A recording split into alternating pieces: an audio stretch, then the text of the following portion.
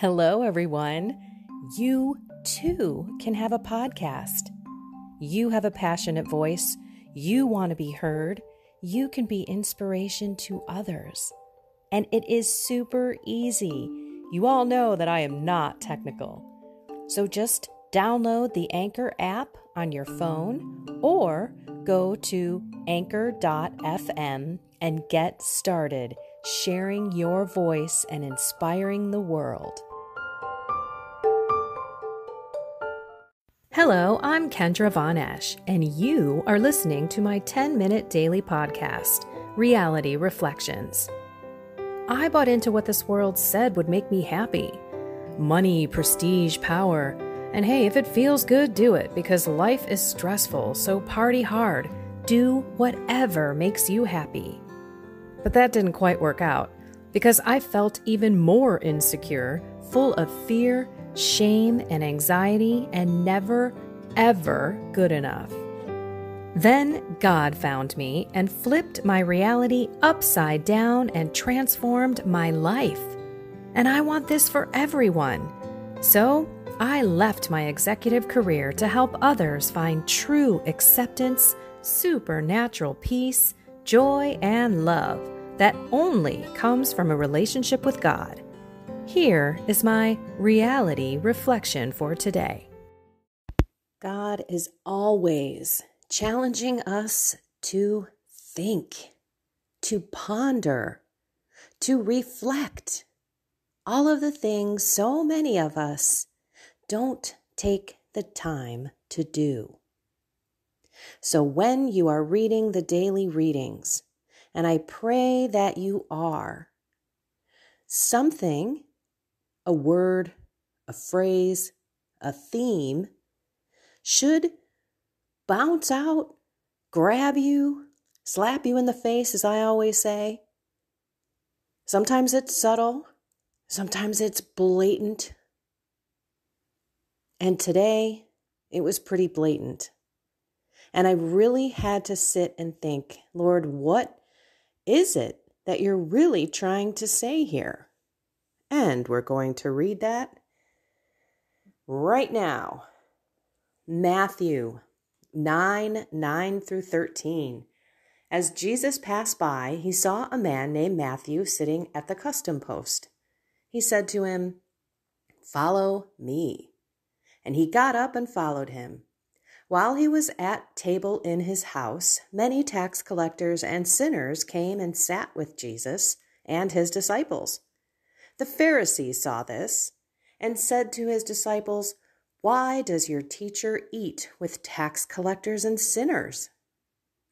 He heard this and said, Those who are well do not need a physician, but the sick do. Go and learn the meaning of the words. I desire mercy, not sacrifice. I did not come to call the righteous, but sinners. So, of course, in my, in my simple mind, the phrase, I desire mercy, not sacrifice, which is italicized in the text, jumps out at me. It's a different font. He's trying to make a point. But even more importantly, right before it, he tells us go and learn the meaning of the words I desire mercy, not sacrifice. So I sat with this for a long time. And I had to reflect on my life as a kid as my life as, you know, a young adult. And when I screwed up or when I did something wrong, I didn't exactly run to my parents and tell them. of fearing any kind of punishment, fearing humility, being grounded, that type of stuff. So I just walked away and had the guilt in my shoulders. I did not have a relationship with Jesus. I had no idea. Well, I shouldn't say I had no idea, but I wasn't practicing any kind of Catholic teachings, sacraments, nothing. So I'm in my mind, I know I did wrong, but I didn't have anyone to go to. And I wish I had Jesus in my life, in my heart.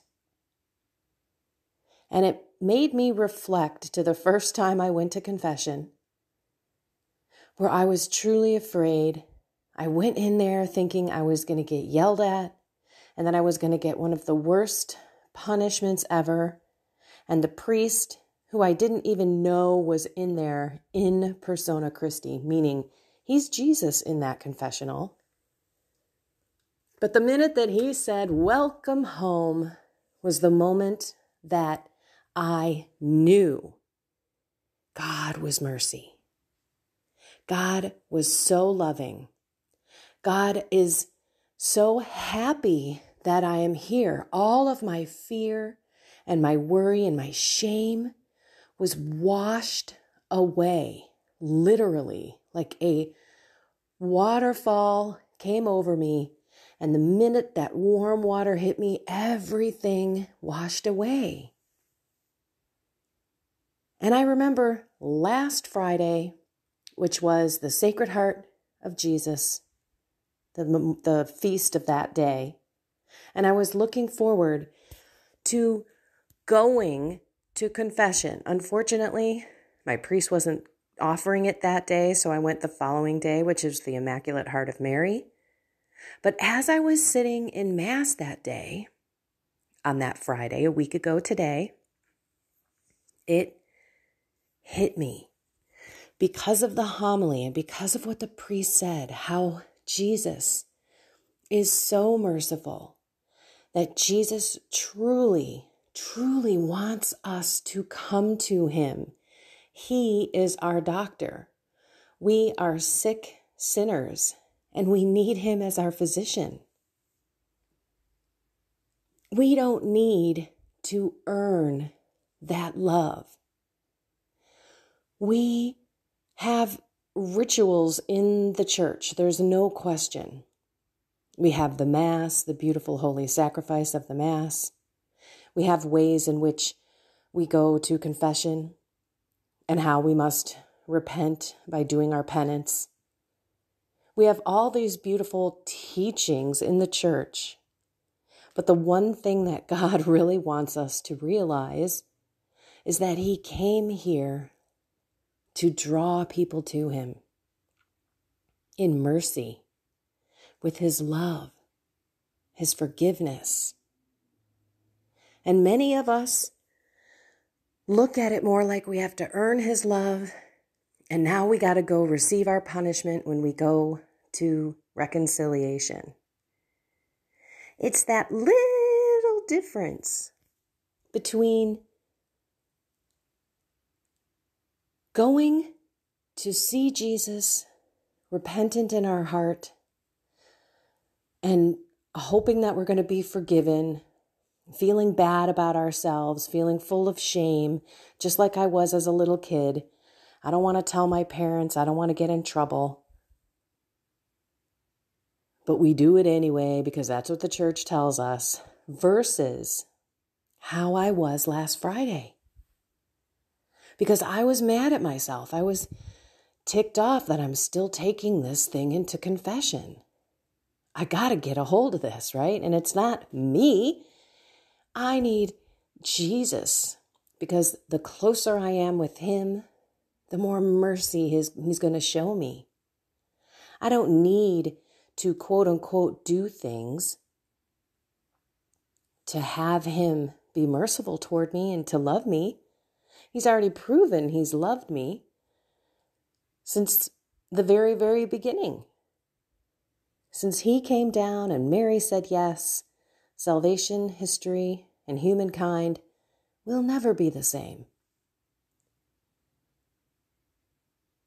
So I'd like our, all of us to sit down and spend some time with God, thanking Him. Thank you so much. Thank you for giving me faith. Thank you for helping me understand that you are a merciful Father. And I need to look at reconciliation as a positive, beautiful sacrament. That the more I attend reconciliation with a humble heart, with a heart that desires to be changed through your grace, Jesus. The more that I look at reconciliation, silly uh, little hairs, eyelashes, I want to be eyelash to eyelash with you, God. Back in your good graces so that you can continue to heal me because you did not come for the righteous. You came for all of us who are so broken, who are trying to be good Christians, who always fall. But if we know your merciful heart is waiting your sacred heart is welcoming us. We can run to you instead of trying to show off for you or accept trying to add one more thing on my list, one more prayer, one more devotion. He wants our heart, not our tasks yes, sacrificing. And in this case, he was more or less talking about the blood sacrifices of the animals back then, but honestly, it comes to us today. We should be sacrificing so we can master our bodies, so that we can show ourselves that our bodies don't rule us. We're trying to master the, the body, the mind, the soul, the spirit and Satan and the world and the flesh.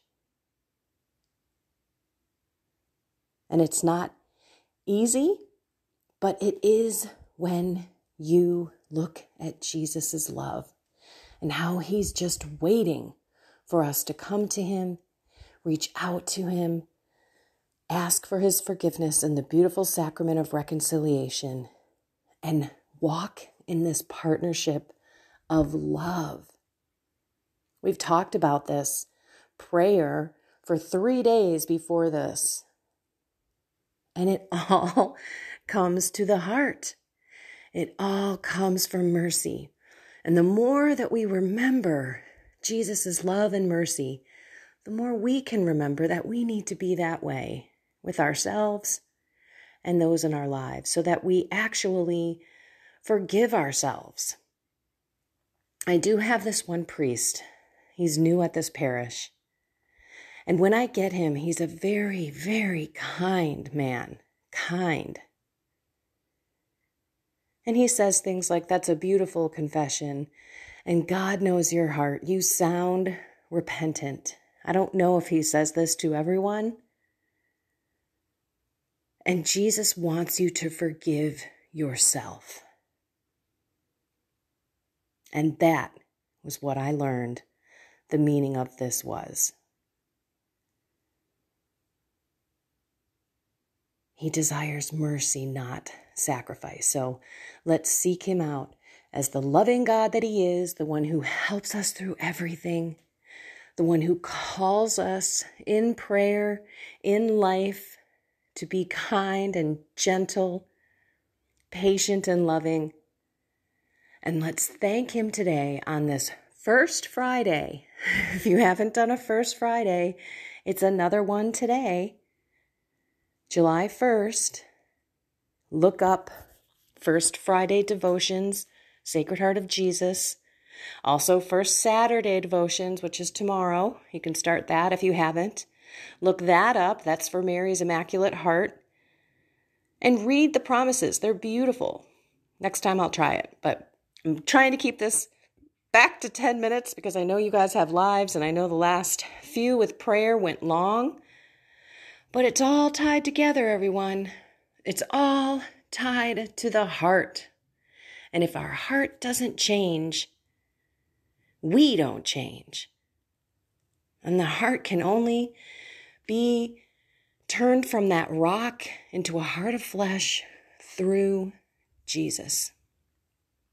So let's pray for our hearts to be tender, flesh, Jesus hearts and immaculate Mary hearts. I'll tell you that that is what I pray when I receive the Lord in Holy Communion at Mass. It comes from my St. Louis de Montfort consecration. That I ask Mary to rip my heart out, my selfish, ugh, dirty, disgusting, sinful heart, and I ask her to put hers there. And then when I receive Jesus, I ask them both to be formed in my heart, to replace mine with theirs. Because that's where our thoughts, our words, our deeds, our prayer, our treatment of ourselves, and our love for others, it all comes from our inner heart, where Jesus lives. And his spirit is with us always. So let's live in the spirit. Let's go be love. For all of you who are having parties this weekend in this country, America, America, for those George W. Bush make funners of people, America. Anyway, we are having the 4th of July, which is celebrating our independence, and there will be a lot of parties. So I'm just asking people to be very safe, especially with fireworks, but be very grateful and outward. Be visible with it. Get some American flags.